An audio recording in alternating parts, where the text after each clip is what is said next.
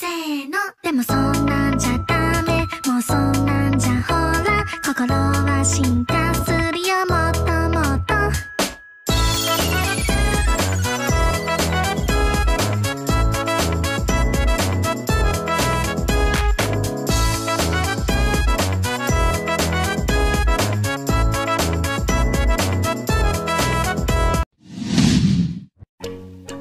Hello Otaku, kembali lagi di channel Mr. Jilon yang merupakan salah satu channel para pecinta anime.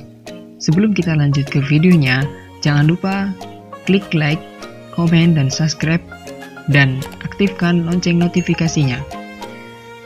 Anime adalah salah satu kartun versi Jepang yang sangat terkenal di seluruh dunia. Tidak hanya di Jepang, bahkan di Indonesia sangat terkenal. Anime juga merupakan kartun terbaik dari zaman dulu sampai zaman sekarang. Baik dari tahun pertama anime dibuat bahkan sampai tahun 2020. Ada yang yang kita bahas pada video kali ini anime-anime terbaik di tahun 2010-an. Apalagi bisa dipastikan ingatan kamu akan anime-anime satu dekade terakhir ini masih segar. Langsung saja yuk kita bahas 7 anime yang masuk ke dalam daftar anime terbaik tahun 2010 versi Master Chilon Channel. Yang pertama, Durara.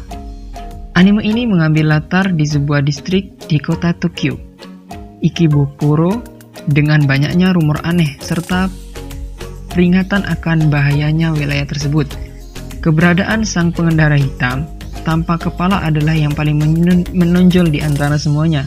Pengendara tanpa kepala ini konon selalu terhira, terlihat mengendarai sepeda motor hitam tanpa suara melalui jalan kota menjadikan salah satu urban legend paling terkenal di distrik tersebut. Kisah tentang organisasi misterius memang bukan hal yang baru dalam anime, tapi karakteris tapi karakterisasi, alur, dan cerita komposisi yang ada dalam Durara jadikan anime ini lebih menarik dan pantas masuk daftar terbaik anime tahun 2010-an. Kedua, anime Attack on Titan. Anime yang harus kamu hindari untuk ditonton saat makan ini juga layak dimasukkan ke dalam daftar anime terbaik. Genre post-apokaliptik yang diangkat dalam cerita Attack on Titan ini memadukan unsur drag, fantasi, tragedi, horor, action, thriller, dan sedikit bumbu drama. Kurang apa lagi coba? Bakal bakal kurang kalau anime ini tidak masuk list. Ketiga, Guilty Crow. Meskipun sutradaranya sendiri menyatakan bahwa serial Guilty Crow ini hancur, tapi tidak sedikit dari penggemar anime yang menjadikan anime satu ini menjadi favoritnya.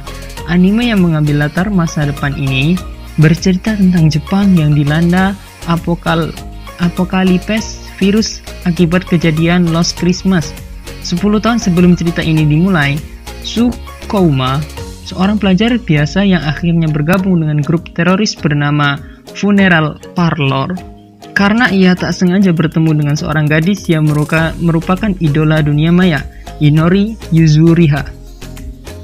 Banyak orang yang tidak suka karakterisasi dalam anime ini karena perubahan yang drastis, tapi bukankah salah satu estis manusia adalah berubah?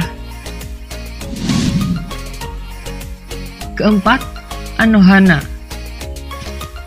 Film Slice of Life dengan tema persahabatan yang kental ini juga layak masuk daftar. Kamu harus mengakui bahwa Anohana adalah salah satu anime yang bisa membuatmu menangis sesegukan. Lewat anime, anime, anime ini, kamu juga akan belajar tentang bagaimana orang akan berubah saat mereka bertemu orang baru dan bagaimana mereka juga mengenang hal-hal indah yang pernah dijalani sebelumnya. Kelima, psikopas.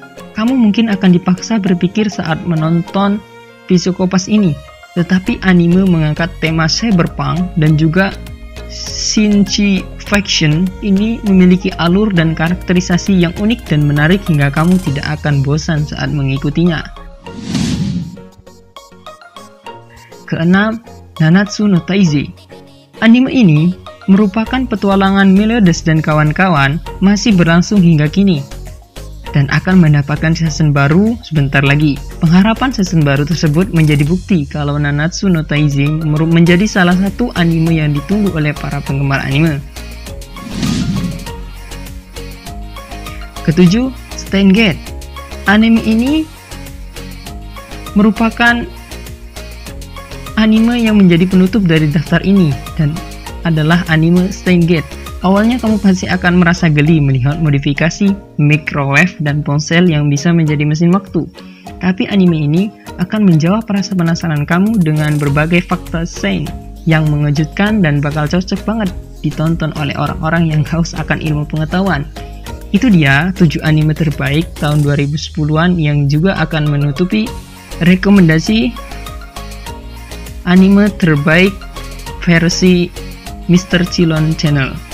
Apabila kalian memiliki saran tentang anime ini silahkan komentar di bawah.